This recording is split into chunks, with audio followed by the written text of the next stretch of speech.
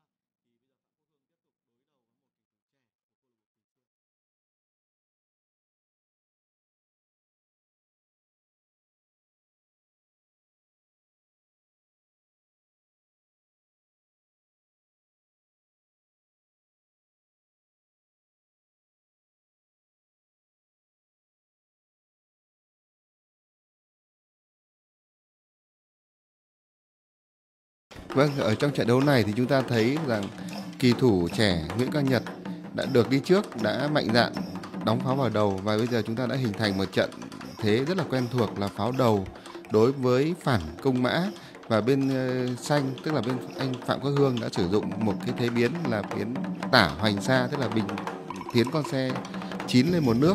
Còn ngược lại là anh Nguyễn cao Nhật đã sử dụng cái thế biến là lưỡng đầu xà và th- trận thế ở đây thì chúng ta cũng chưa có gì bị, để bình nhận luận nhiều bởi vì đây là đến thời điểm này thì hai bên đi gần như là hoàn toàn giống như sách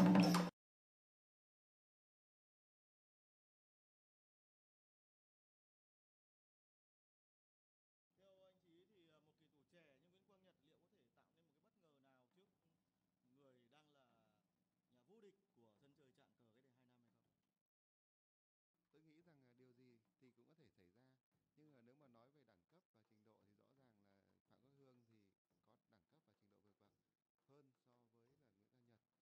Thế nhưng mà điều gì có thể xảy ra nhất là ở cái thời điểm mà đánh chúng ta chỉ đánh có một ván duy nhất. Thì ở đây thì chúng ta cũng chưa nói được điều gì bởi vì anh cũng biết rằng là phạm quốc hương mạnh không phải là mạnh khai cuộc giống như trần quyết thắng hay là một số kỳ thủ khác mà anh mạnh là mạnh ở cái xử lý chung cuộc và tàng cuộc rất là giỏi rất là xuất sắc thì chúng ta hãy cùng chờ xem những cái diễn biến tiếp theo À, chúng ta thấy là vừa rồi thì bên đỏ đã đóng pháo vào đầu rồi lại tách pháo ra. Liệu có thể coi đây là một cái việc là đi mất nước hay không ạ? Tôi thì tôi cho rằng không tại vì cái cái biến này là biến hợp lý ở trong cái thế trận này Dạ. bởi vì là rõ ràng là khi bên đỏ thì có lợi thế là lưỡng đầu xà nó đè được hai con mã đây là lợi nhưng mà cái điểm nhược điểm của nó là hai con lưỡng đầu xà này rất là khá là yếu Dạ. cho nên là dễ bị ờ, xe 4 tiến 4 là bắt đôi cho nên là Nguyễn Quang Nhật là đi nước này để tránh cái nước đó Dạ. cũng là hợp lý Vừa tránh xe 4 tiến 4 mà xe 4 tiến 3 cũng không được, đúng không anh? vâng chính xác là như vậy Vâng, chúng ta thấy là Nguyễn Quang Nhật là đã cho cho thấy cái sự cẩn thận, cẩn trọng của mình ờ, trong ngay từ khai cuộc sau khi đóng pháo vào và khi mà Phạm Quốc Hương chơi phản cung mã uh, tả hoành xa thì ờ, lập tức Nguyễn Quang Nhật lại lấy pháo ra và bây giờ đang chuẩn bị củng cố thế trận bằng việc là, là lên tượng. Như vậy là kỳ thủ của trẻ của câu lạc bộ Kỳ Siêu cũng không vội vàng tấn công đang cho thấy là cái sự chín chắn, và phần nào đấy là sự chín chắn trong ờ, xử lý. Tới đây thì theo anh là bên bên bên bên xanh vừa mới chơi tiến xe lên thì liệu bên bên đỏ có nên bình pháo đấu hay không nhỉ? Cho đến thời điểm này thì hai bên đều đi những cái nước phải nói là rất là thuộc cuộc. Nghĩa là hai bên đều đi như sách. Đến đây thì thì cũng không có một cái cái nước biến gì đặc biệt tại vì hai bên đều đi rất là chính xác và và đây là vẫn là nằm trong trong khai cuộc là khai cuộc mà pháo đầu đối với lưỡng đầu xà đối với phản công mã mà tả hành xa. Thì đây là một cái biến chúng ta cũng khá là thông thuộc và đây là những cái nước cờ rất là bình thường cái nước tiến xe ờ, quá hà này ờ, khi mà mà mà bên đỏ đã mở top 3 mà lại tiến xe quá hà thì tôi tôi tôi hình dung là ừ, thường là người ta cũng ít ít đi bởi vì sẽ tránh cái việc là bị ờ, bị bên xanh là hoặc là pháo thoái một để bình ra lộ 7 công kích hoặc là sẽ pháo tiến lên ngang hàng tốt để đè mã vừa đè mã vừa bắt tượng thì cũng cũng tôi thấy nước tiến xe này có phải là nhằm mục đích là ngăn chặn không cho bên xanh uh, tấn cấp 7 mồi đuổi hay không? Đúng là như vậy đấy. À. Thực ra thì tiến xe không có nghĩa là ăn ngay và tốt đâu. Mà tôi nghĩ là nước này là nước cũng hợp lý thôi, tại vì cũng ra cũng cũng không có thiệt thòi gì trong cái cái cái cái biến này và con con ờ, mã thì thực ra thì trong cái thế trận mà bình ờ, phản công mã mà ờ, mà hoành xa thì thường con mã 7 bên bên xanh thì nhiều khi là một cái mồi nhử để cho Ừ. cho bên đỏ tấn công nhưng nhưng đôi khi nó cũng là con dao hai lưỡi tại vì nhử cho đối phương nhưng nhiều khi cũng lại là là là hại cho bên mình thật Đấy. Vâng. Thế cho nên là thực ra cái nhưng mà thực ra thì đến đây tôi cho rằng là vẫn là cân bằng bởi vì là hai bên vẫn đi đúng như sách mà có lẽ là cả hai bên đều đã nghiên cứu kỹ cái trận này rồi cho nên là là cũng không có gì đặc biệt ở những cái nước cờ này. Như vậy là tiếp theo thì không biết bên xanh sẽ chơi như nào. Bây giờ thì chắc là không thể chơi tết 7 tiến 1 nhưng vẫn có thể tốt 3 tiến 1. À không ạ, bây giờ bên xanh đã chơi tiến xe 4 tiến 7. Như vậy là chủ động tiến xuống cửu, tiến xe xuống để quấy rối đội hình của đối phương và đang hăm là chuyển sang bắt mã. Phải chăng là Vâng. chuyển sang à, lộ lộ 3, tức là lộ 7 của bên xanh.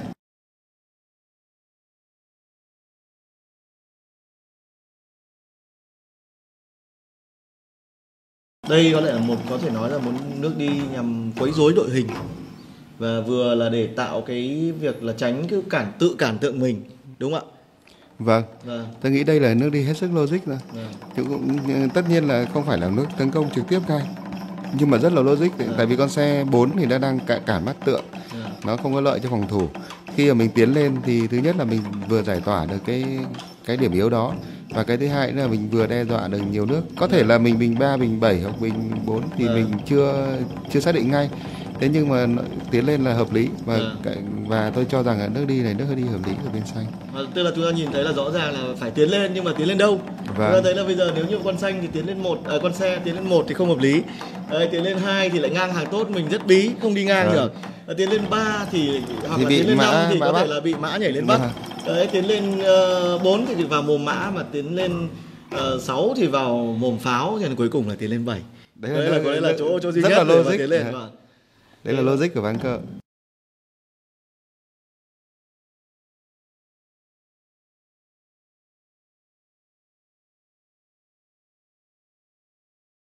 Đây cùng chờ xem Nguyễn Quang Nhật sẽ đối phó như thế nào sau nước tiến xe vừa rồi của Phạm Quốc Hương. Quả thực thì tôi cũng ờ, biết ờ, Phạm Quốc Hương từ rất lâu. Và bản thân tôi cũng đã từng giao đấu với Hương nhiều lần. Thì tôi thấy rằng là cái cái cái cái cái kỳ nghệ của Hương rất cao và đặc biệt là rất là sở trường ở trong những cái cái ờ, hình thế là chưa có đe dọa gì ngay Vâng. nhưng anh bao giờ anh đi ở những nước gây khó cho đối thủ tại vì đối thủ thủ sau khi nước chưa có đe dọa gì nhưng không biết đi nước nào để mà Vâng, hợp lý Đúng rồi. cho nên là đây là một cái nước xe tiến đấy cũng là một trong những cái cái mà yếu tố mà rất là phạm quốc hương ở chỗ đó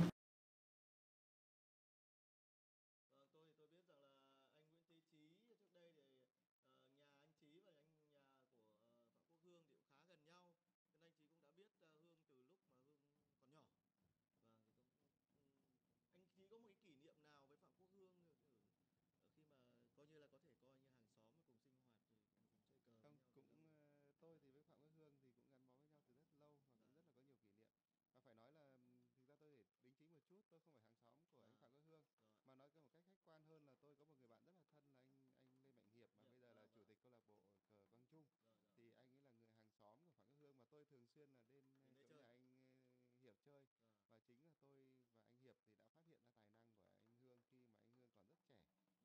lúc bây giờ thì chưa đến 20 tuổi ừ, cách đây những hơn 20 năm tức là năm 1993 à. thì từ đó là tôi cũng đã giới thiệu anh Phạm Quốc Hương lên ban huấn luyện của đội tuyển Hà Nội và từ đó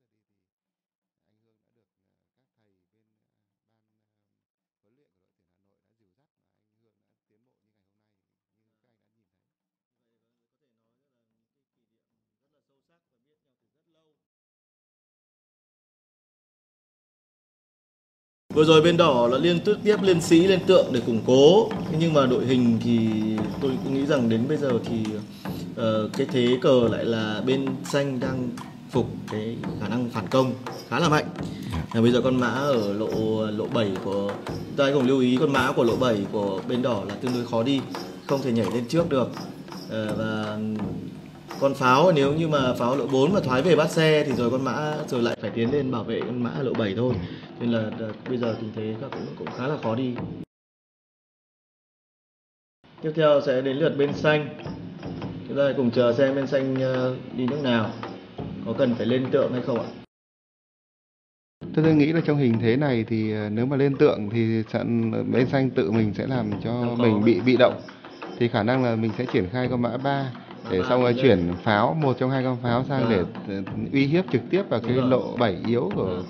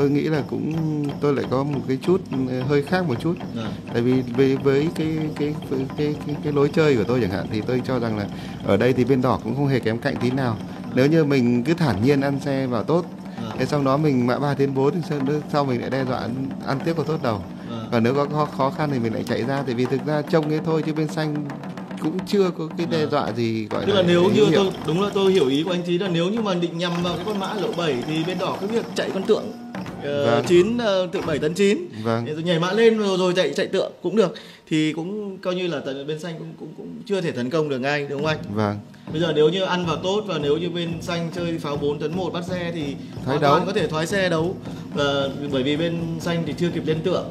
Nhưng mà cái nước ờ, tiếp theo của bên đỏ lại là pháo 8 thoái 1. Tôi Tôi thấy cho- hơi tôi thấy hơi khó hiểu. tôi cho rằng nước Vâng. này là rất rất là Vâng, là rất- là rất là lung tung Ờ, không biết là là rõ là khi ờ, một kỳ thủ trẻ khi mà rơi vào đối đầu với một kỳ thủ ờ, có thể nói rất giàu kinh nghiệm và nhiều giàu giàu thành tích như Phạm Quốc Hương thì có vẻ cái tâm lý đã xuất hiện những cái điều không không được tốt.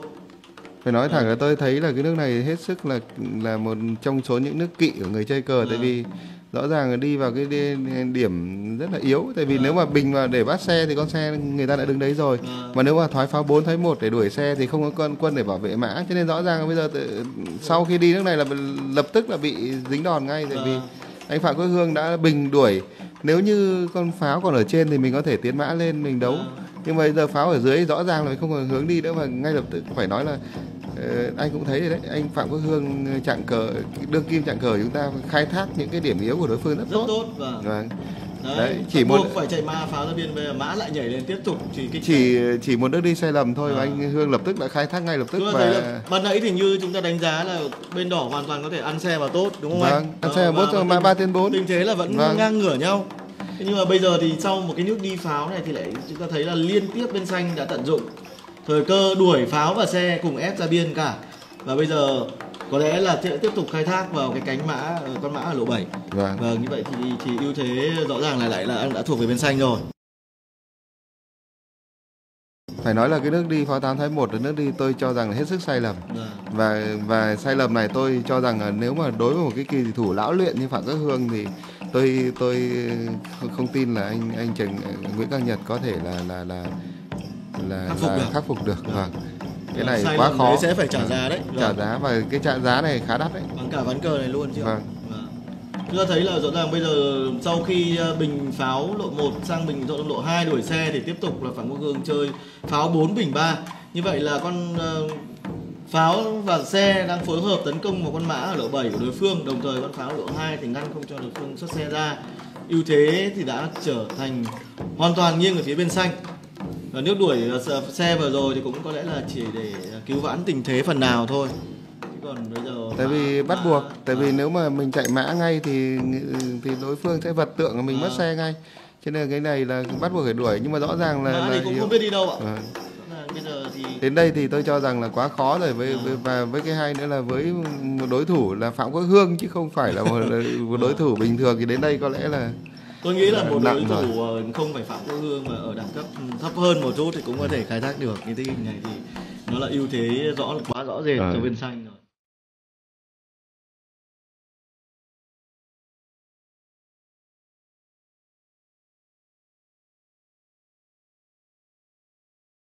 Và bây giờ con mã ở lỗ 7 quá mong manh, không có đường chạy và khả năng là sẽ mất con mã này.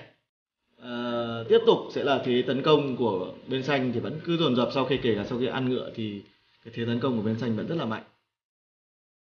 Vật pháo lên tốt thì cũng chưa đe dọa được gì trong khi mình mình mất không một chắc quân chắn là mất không một quân tôi cho rằng đến đây thì có lẽ là ván cờ định đoạt, tại vì chúng ta biết là là đối thủ cầm quân xanh là ai. Mà rõ ràng với một cái ưu thế lớn như thế này thì thì chắc chắn là anh Phạm Quốc Hương thì sẽ giành chiến thắng.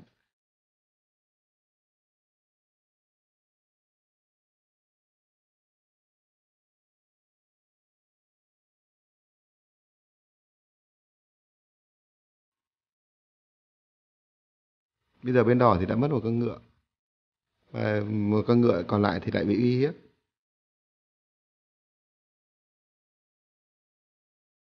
Không biết là liệu còn cơ may nào cho anh Nhật nữa không? Tôi nghĩ là không. Ừ.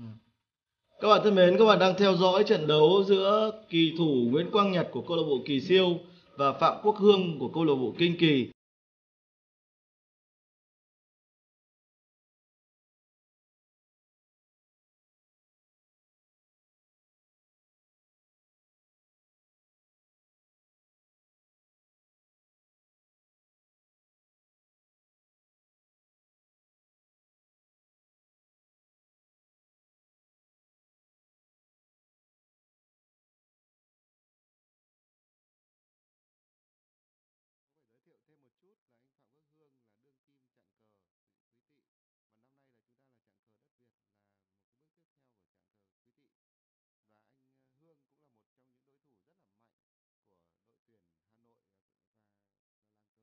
nói chung. Thì ờ, còn anh ờ, Nguyễn Quang Nhật thì là một kỳ thủ trẻ mới nổi lên của cái cái cái câu lạc bộ cờ Kỳ Siêu.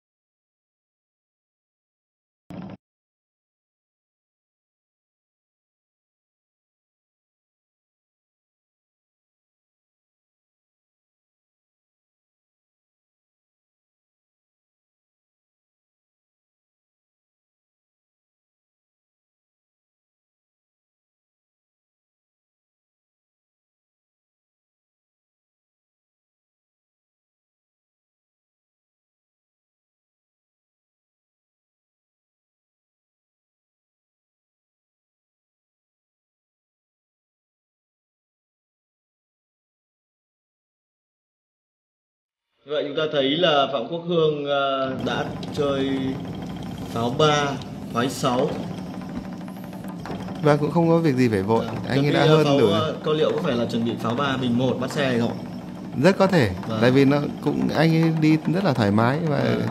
và thực ra một bắt xe chắc chắn phải treo tượng rồi và mã sẽ lại nhảy xuống để để, để, để bắt tượng vậy nếu mà nói như các cụ nói thì đây là cũng là nước rất, rất hợp lý về cờ tàm pháo hoàn và thì ờ, chuẩn bị cho nước ờ, có thể là đe dọa rất nhiều nước. Một Vâng. là pháo ba bình một và hai là mã hai tiến ba.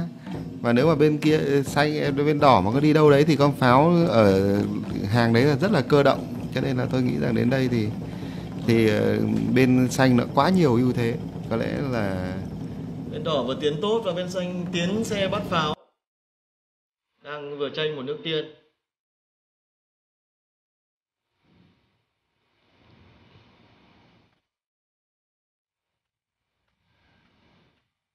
Cho thấy à, vừa rồi một nước xe một công đôi việc vừa tránh việc bị bị tốt đuổi vừa bắt tạm thời bắt con pháo và có thể phối hợp cùng với quân xe còn lại pháo ba bình một. Vâng, xong người pháo mình phải treo tượng lên thì lại phạm mã hai tiến ba. Có lẽ Vâng. tôi không biết là anh Nhật có cách nào để để đỡ nó không có lẽ là chỉ có phép màu thôi Vâng. mà phép màu thì tôi nghĩ rằng ở trong cái hình thế này thì khó xảy ra lắm Vâng.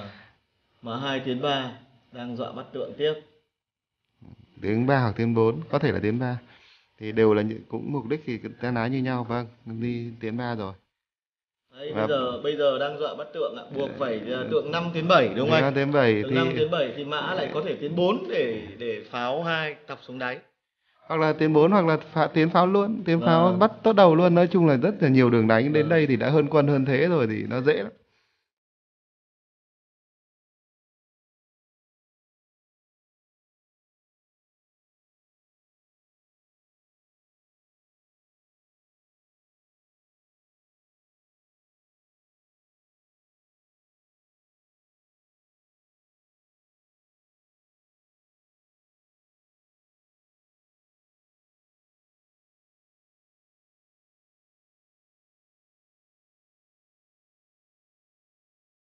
Chúng ta thấy là ở hình thế về trung cuộc thì khi mà mới bước vào trung cuộc thì hai bên còn ngang thế. Thế nhưng mà chỉ sau một nước đi sai lầm của Nguyễn Quang Nhật thì lập tức đã là bị Phạm Quốc Hương khai thác rất triệt để. Và hiện thời thì bên xanh không chỉ hơn một quân và hơn cả về thế nữa. Như vậy là quân mã đã nhảy xuống lộ 4 và đang chuẩn bị đâm pháo xuống đáy, chiếu tướng.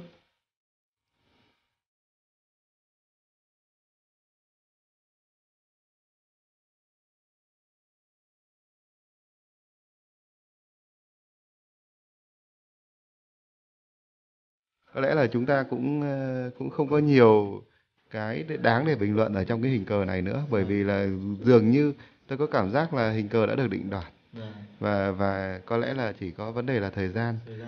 Nói tóm lại là đánh với những cái kỳ thủ lớn như phạm quốc hương hay là những kỳ thủ tương tự thì không cho phép có sai lầm. Mà anh đã sai lầm thì thôi anh cũng đừng có có cái cơ hy vọng gì nữa Tôi nghĩ là thực ra sai lầm là một cái gì đó rất là con người và trong Vâng. các cuộc chơi thì thường phạm phải. Thế nhưng mà sai lầm vấn đề là sai lầm lớn đến mức nào? À, có thể khắc phục, có thể sửa sửa chữa được không? Đúng không anh? vâng nếu như mà giống như cái sai lầm của Nguyễn Quang Nhật phạm phải ở cái nước pháo 8 thoái 1 là quá lớn. Dạ. Nhìn thì tưởng thoạt trông thì tưởng là nhỏ nhưng cuối cùng thì chúng ta thấy diễn biến của ván cờ thì đã hoàn toàn thay đổi và bây giờ là trở thành một thế trận một chiều nghiêng hẳn về bên xanh và thắng lợi của bên xanh thì có lẽ chỉ còn là thời gian ờ, bao lâu nữa mà thôi. Vâng, đấy thì đúng hệt như chúng ta dự đoán. Thực ra thì tôi nghĩ rằng là những cái ờ, ván cờ như thế này thì chắc là là một cái nước đi ngay như khi mà mà đi xe 8 thái 1 đấy là một bước ngoặt lớn của ván cờ này. Dạ. Thì tôi thấy rằng ờ, sau khi nước đi đấy thì gần như anh Nhật chẳng còn một cái cơ hội nào nữa. Dạ. Anh Hương thì phải nói là cái kỳ thủ rất là dày dạn kinh nghiệm anh khai thác thì thì Không thì, thì không Đúng bao giờ có thể có những cái nước ừ, sảnh được nói nôm na là như thế và khi anh Hương đã đã đã có một cái ưu thế thì thì có lẽ là chúng ta chỉ xem anh ấy biểu diễn nhanh hay chậm mà thôi Đấy. Tôi, tôi để ý cái bàn tay ờ, cầm quân đi quân của Phạm Quốc Hương thì rất là Dạ, bình vâng. thản, nhẹ nhàng. Thế nhưng mà những nước đi thì rõ ràng là chúng ta thấy rất là uy lực. Bây giờ ép bên đỏ phải thoái tượng rồi ờ, sẽ có tiếp tục là bình Xe xe, bình bình ba, ra và vâng. lại bắt bắt em phải treo tượng rồi có thể lại xong lại bình hai Đó. giữ pháo là thoái mã bắt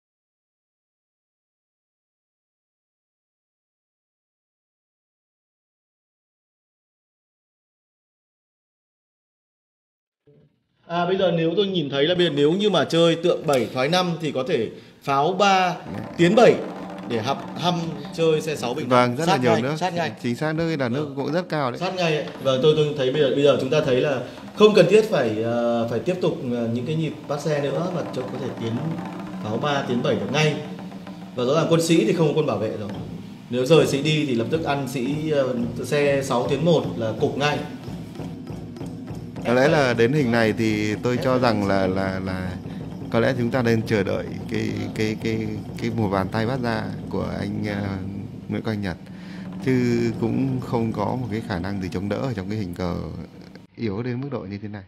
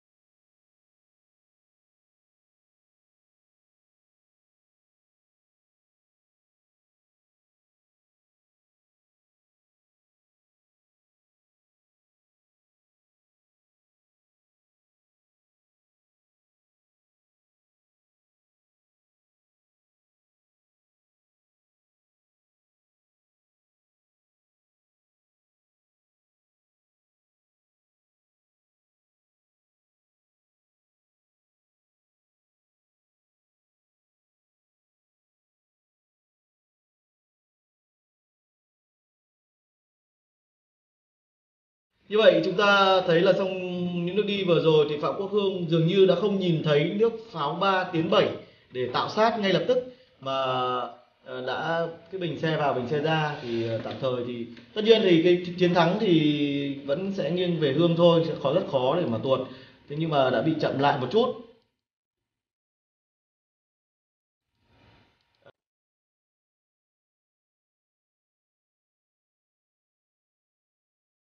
Thực ra thì tôi nghĩ là cũng chẳng có vấn đề gì cả tại vì thực ra thì anh Hương thì ở đây đã chắc thắng rồi. Cho nên anh cách cũng cũng cũng không việc gì phải vội tại vì cũng không cần phải mất quá nhiều thời gian cho những cái nước suy nghĩ tiếp theo của mình. Bởi vì đến đây thì bên xanh làm gì có cái khả năng gì chống đỡ đâu. Đấy anh cứ nhẩn nha đánh rất là bình thường là bên xanh cũng tự thua thôi chứ cũng chẳng cần phải phải có nước gì cao siêu cả. Tôi thấy vừa rồi là Phạm Quốc Hương lại ép ừ, bên đỏ lại phải về tượng để ngăn không cho con xe chuyển sang cánh nhưng mà đơn giản thôi giờ con mã đang trong miệng xe. Nếu nếu mà không xử lý con mã thì sẽ mất đấy cho nên bắt buộc phải phải ăn mã. Thế là như vậy là không còn một cái con gì có thể là đủ sức phản kháng nữa. Sau khi ở đấu mã đi thì thì thì thì nói một cách nôm na là anh Hương chơi cầu của mình. Tại vì chẳng có ai chẳng bên bên đỏ chẳng có có cái khả năng gì để chống cự lại anh ấy cả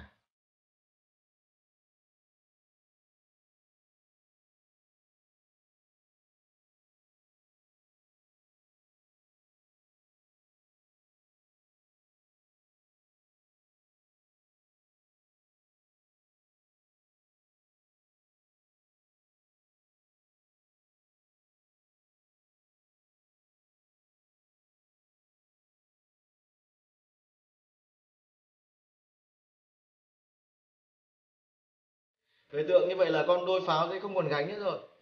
Vừa bắt pháo vừa vừa cấm cái nước pháo chiếu cho nên là tôi cho rằng nước này quá cẩn thận nhưng mà thực ra thì cũng hợp lý hơi đằng nào Ờ, cũng thắng rồi Vậy chúng ta đang nói đến cái việc là đằng nào Hương cũng thắng nên Hương chơi ờ, như thế nào thì nó Nhớ chắc là- chắn cũng rất chắc chắn. cũng hợp lý. Vâng.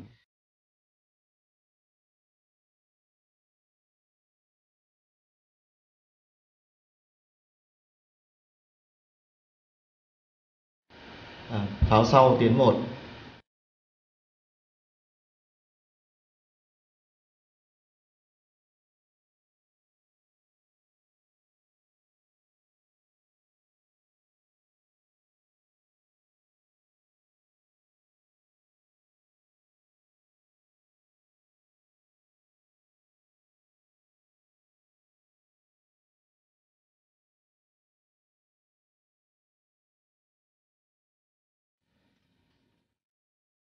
nếu mà pháo tiến lên thì rõ ràng là bình Sẽ- xe ra vừa. Vâng. bắt ba Vâng. bắt cả xe và bắt cả hai pháo là bắt Vâng. buộc phải thoái về rất khó không biết đi đâu ạ. Vâng, bắt buộc phải thoái về thôi chẳng có nước Vâng. nào khác bây giờ xe bình Xe- bắt xe được không ạ cũng là một ý kiến hay Vâng. nhưng mà theo tôi thì có thể là mình bình 6 chẳng hạn à Bình- xe không được bắt bình xe là vẫn có căn à, căn đây như anh Vâng. Hương lại bình hai Bình nước rất là bình cẩn trọng Vâng. vẫn đang ép đối phương phải về tượng bây giờ cũng cũng chẳng có lựa chọn nào bên đỏ vẫn phải tượng 7 thoái 5 nếu mà về tượng thì lại có nước mã lại ăn về tốt đầu chẳng hạn thế Vâng. nói chung là là là là đều là là nguy ngập cả. Vâng. ăn về tốt đầu xong rồi xe tiến tỷ cửu thì thôi có lẽ là tôi nghĩ đến đây cũng có lẽ là có thể buông cờ là là vừa. À, đấy đúng như tôi dự đang bắt đoán pháo sau sau đó là nước tiếp theo có thể là xe 2 tiến 5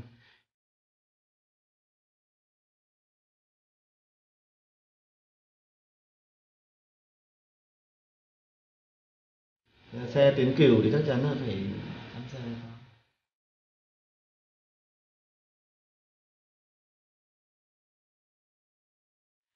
mã năm tiến ba cũng được ạ mã năm tiến ba là vừa bắt sĩ tâm và vừa bắt xe Đấy, nếu vật pháo sang thì vật xe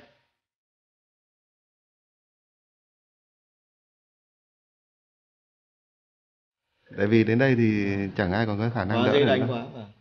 Vâng đấy vâng. thì phạm quốc hương đi đúng như tôi nghĩ là xe 2 tiến 5 là nước đơn giản nhất tại vì là cũng không không cần phải suy nghĩ gì nhiều cho cái nước đi này ép phải ăn xe ra pháo rồi không còn một cái lựa chọn nào khác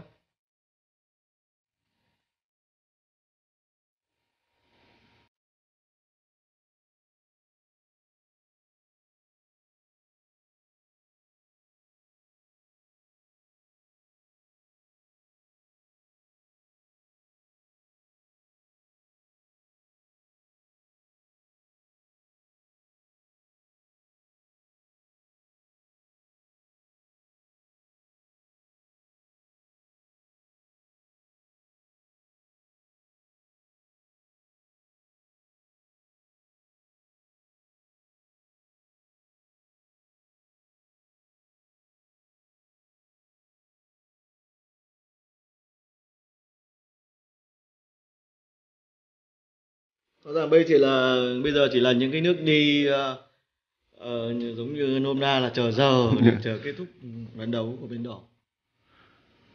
Với việc là đã hơn trắng một xe thì quá dễ dàng cho bên xanh.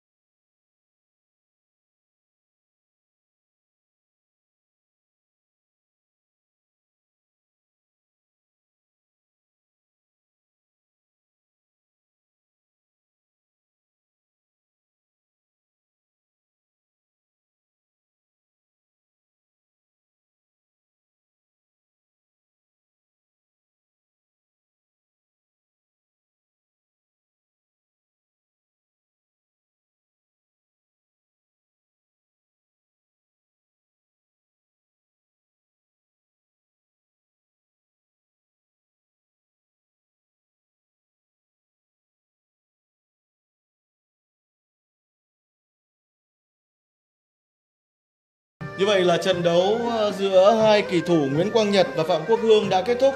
Người giành chiến thắng là Phạm Quốc Hương, đương kim trạng cờ Quý Tỵ năm 2013.